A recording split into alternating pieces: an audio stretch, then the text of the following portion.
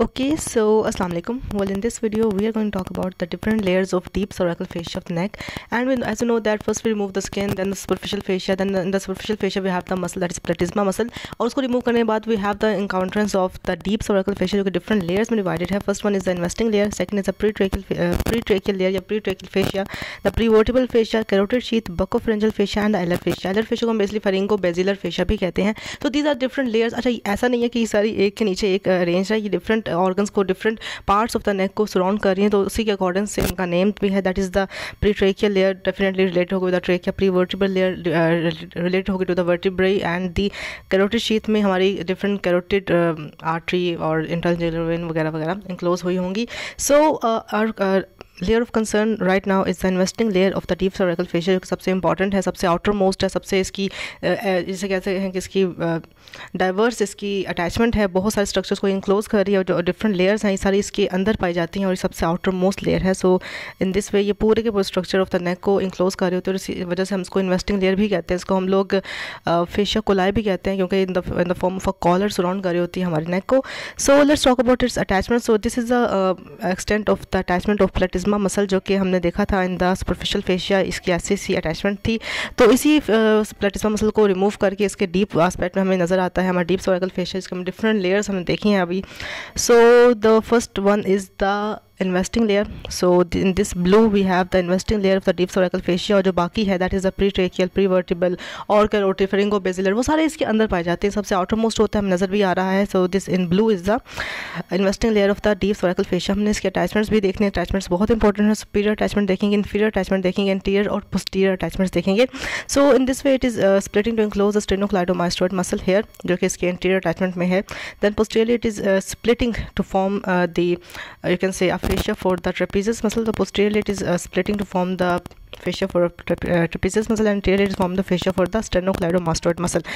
अच्छा जी तो उसकी अटैचमेंट कुछ ऐसे होते हैं कि कुछ होती है इसके सुपीरियर अटैचमेंट्स कुछ होते हैं इसके इन्फीरियर अटैचमेंट कुछ होते हैं एंटीरियर और कुछ होती हैं पोस्टीरियर अटैचमेंट्स तो हमने सारी सारी देखनी है। अबव अगर देखा जाए, इसके सुपीरियर अटैचमेंट देखा जाए तो पोस्टो पोस्टीरियर से हम इंटीरियरली मूव करेंगे। Posteriorly we have the external occipital protuberance we have the superior nuchal line then थोड़ा सा आगे आके we have the mastoid process थोड़ा सा आगे आके we have the external acoustic meatus फिर थोड़ा सा आगे आके we have the base of mandible so all these are the above और the superior attachment of this investing layer of the deep cervical fascia हम सारे फेशिया की बात नहीं कर रहे हैं हम just investing layer of the deep cervical fascia की बात कर रहे हैं। And we have seen its superior attachment that is on the external occipital protuberance the superior nuchal line the mastoid process the external acoustic meatus and the base of mandible तो ये तो हो गया उसके सुपीरियर या उसके above की attachment inferior या उसकी बिलो की अटैचमेंट देख लेते हैं। वो होते हैं posteriorly it will be attach to the spine of scapula the acromion process of scapula and tell it will be attach on the clavicle and then the manubrium sterni तो ये होगी उसकी इन्फीरियर अटैचमेंट और हमने इसको postero एंटेरली देखा, कैसे पहले अटैच हुई on the spine scapula then the acromion process of scapula then on the clavicle and then finally on the manubrium sterni so superior attachment ये होगी स्पीरियर अटैचमेंट ये होगी, हम उसके एंटीरियर अटैचमेंट देख लेते हैं। एंटीरियरली अटैच होता है सिम्फसिस मेंटाई जो कि एक लाइन है in the mid of the mandible so यहाँ पर होती है सिम्फसिस मेंटाई वहाँ पर इसकी अटैचमेंट होती है देन बिलो थोड़ा मूव करते करते ये हाइड बोन पर भी अटैच हो जाती है, जो कि डीप एस्पेक्ट पड़ी होती है हाइड बोन हमारी. And then finally it will be attach on the manubrium sterni again so ये सारी अटैचमेंट होगी उसकी एंटीरियर अटैचमेंट कहाँ कहाँ होगी? On the symphysis mentae okay and on the right? So in this way it will be uh, नीचे आते आते ये बेसिकली राइट और लेफ़्ट साइड की इन्वेस्टिंग लेयर को आपस में कनेक्ट भी कर देती है। पोस्टीरियर अटैचमेंट एक्सप्लेन करने से पहले I should be telling you के जो हमारे पोस्टीरियरली हमें सर्वाइकल वर्टिब्रा नज़र आते हैं। सर्वाइकल वर्टिब्रा के कुछ हमारे स्पाइनस प्रोसेस होते हैं। उन स्पाइनस प्रोसेस को स्पैन कर रहा होता है लिगामेंट जिसे बोलते हैं लिगामेंटम न्यूका जो कि फ़र्स्ट सर्वाइकल वर्टिब्रा से लेकर अटैच हुआ होता है। Till the six cervical vertebra seven cervical vertebra के ऊपर ये सुप्रा स्पाइनस लिगामेंट के साथ साथ ये लिगामेंटम न्यूका अटैच नहीं हुआ होता, उसकी जो स्पाइन होती है, बिल्कुल खाली होती है एम्प्टी होती है, उसके ऊपर लिगामेंटम न्यूका अटैच नहीं होता, किस पर?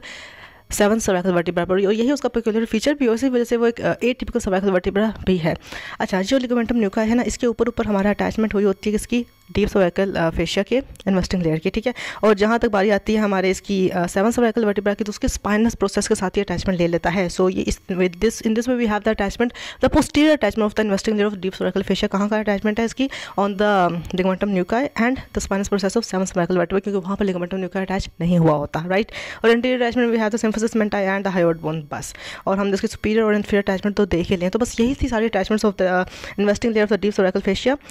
and then we talk about some peculiar features तो नहीं खैर कह सकते इसको हम लोग डिफरेंट फीचर्स या different extension of the deep cervical fascia की इन्वेस्टिंग लेयर कह सकते हैं। और उसकी कुछ फीचर्स या उसकी एक्सटेंशन कुछ हिस्सा बनी होती हैं that over the sternum we have splitting of the deep cervical fascia या investing layer of deep cervical fascia वहाँ पर बेसिकली एक स्पेस बन जाती है हम बोलते हैं suprasternal space just above the manubrium sterni यहाँ पर एक स्पेस होती है जो call as the sternal space and it has been form by the splitting of the deep cervical fascia जो कि यहाँ पर इन्वेस्टिंग लेयर है उसकी। And in this region will be having some contents as well अच्छा हमें पता है कि यहाँ पर सुपर स्टर्नल नोच होती है, उसी के फिर साथ इसकी अटैचमेंट हो जाती है, इसकी डीप लेयर की है तो यहाँ पर जो हमें कंटेंट्स नज़र आते हैं कंटेंट्स आर इंपॉर्टेंट यहाँ पर हमें नज़र आएगा एक इंटरक्लेविकुलर लिगमेंट यहाँ पर हमें नज़र आएगा एक लिम्फ नोट पड़ा हुआ, यहाँ पर हमें नज़र आएगा sternal head of the sternocleidomastoid muscle हमें नज़र भी आ रहा है यहाँ पर। एंड द लूजर रिलर कनेक्ट सो ये चार चीज़ें हमें नज़र आती हैं कौन कौन सी? या वन मोर थिंग यहाँ पर जो इंटरनल जुगलर वेन है, उसकी एक आर्च बनी होती है that is we call a jugular venous arch so हम जुगलर वीनस आर्च भी एक बहुत इंपॉर्टेंट कंटेंट है, वो भी हमें नहीं बोलना। So interclavicular ligament is there sternal head of sternocleidomastoid is there we have a lymph node here and we have the jugular venous arch so these four are the contents of the the suprasternal space right in the same we have another space call as the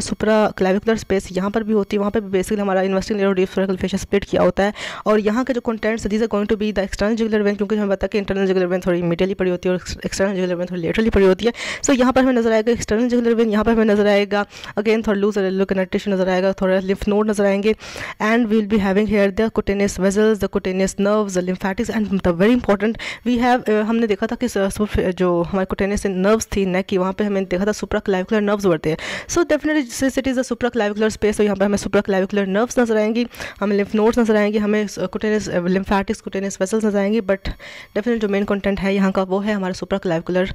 nerves and the external jugular vein इसके अलावा कुछ superficial lymphatics और कुछ,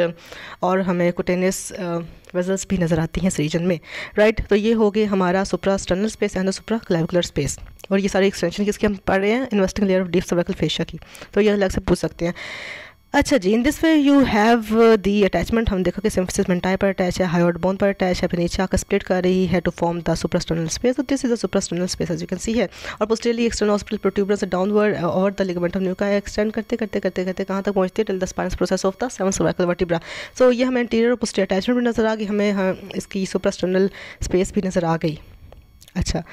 इसके अलावा as a told you कि कुछ muscles अच्छा ये जो हमारी होती है ना इन्वेस्टिंग लेयर ये स्प्लिट भी करती है एट वेरियस बेसिस ये स्प्लिट की होती है, ये स्प्लिट करके बेसिकली कुछ चीज़ों को इंक्लोज कर रही होती है अपने अंदर। So anterior will be enclosing sternocleidomastoid muscle and posterior will be enclosing the trapezius muscle so this is a trapezius muscle की अटैचमेंट है and this is attachment of the sternocleidomastoid muscle दोनों को ये स्प्लिट करके enclose कर लेगी and superior it will be enclosing the parotid gland ठीक है पेरोटिड ग्लैंड को भी ये इंक्लोज करती है, और जहाँ पर इंक्लोज करती है ना पेरोटिड ग्लैंड को, वहाँ पर ये दो लेमिना में डिवाइड कर देते हैं। डेफिनेटली स्प्लिट करेगी तो उसके दो लेमिना बन जाएँगे। सुपरफिशियल और एक होगा डीप जो सुपरफिशियल लेमिना होगा उसे हम पेरोटिड फेशिया भी कहते हैं या पेरोटिडो पेरोटिडो मैसेटरिक फेशिया भी कहते हैं. वो बेसिकली थोड़ा थिक होता है, इसका फॉर्मली अधेरेंट होता है.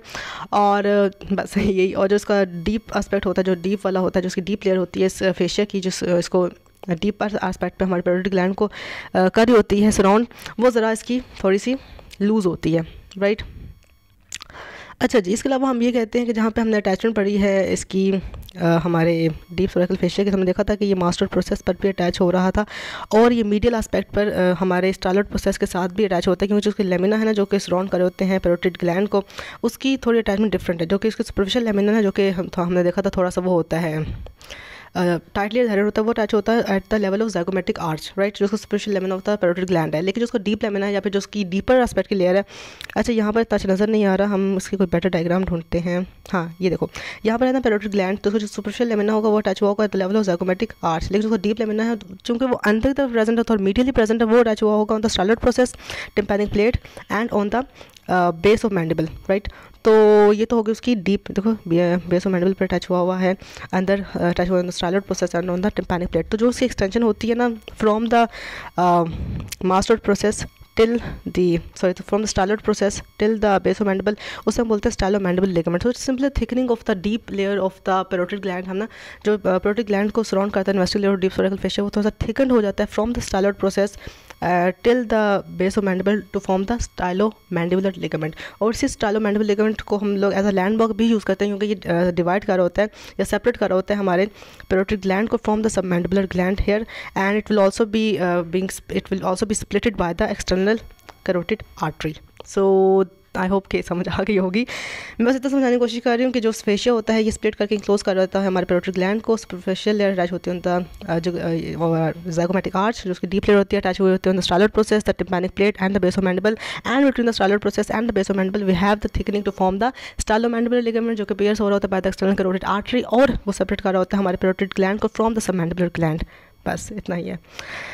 अच्छा जी तो हम काफ़ी आगे आ चुके थे और हम देख रहे थे कि क्लोज कर रहा है हमारे स्टोन मास्टर को भी और ट्रेपिस को भी और साथ में साथ हमारे पेरोटिड ग्लैंड को भी कर रहा है। तो in this video again in this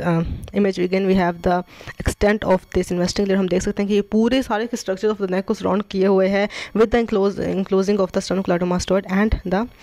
our प्यारा सा ट्रेपीजियस मसल और हमारे कुछ ग्लैंड्स को भी इनक्लोज कर। इसके अलावा कहा यह भी जाता है कि ये एक पुली होती है, पुली बनती है between the digastric muscle and omohyoid muscle जो पुली बन रही होती है, उसको भी यही इन्वेस्टिंग लेयर ही बना रहा होता है। एंड देन वी हैव हम अभी स्टडी करेंगे in the neck will be having the anterior triangle of neck the posterior triangle of neck जो कंपार्टमेंटाइजेशन हुई होती है बेसिकली और जो एंटीरियर पोस्टियर कंपार्टमेंटाइजेशन हुई होती है नेक की in the form of anterior posterior triangle इनका जो रूफ होता है since it is a most superficial layer तो उसका रूफ भी यही इन्वेस्टिंग लेयर ही बना रही होती है। इसके अलावा एज ए टोल्ड कि स्टालोमैंडबल लिगमेंट बना रहा है और parotidomasseteric fascia disease of fascia वर्ती parotid gland भी यही बना रहा है। सो so, यही कुछ बातें थी यही कुछ चीज़ें थी हमें देखनी थी in the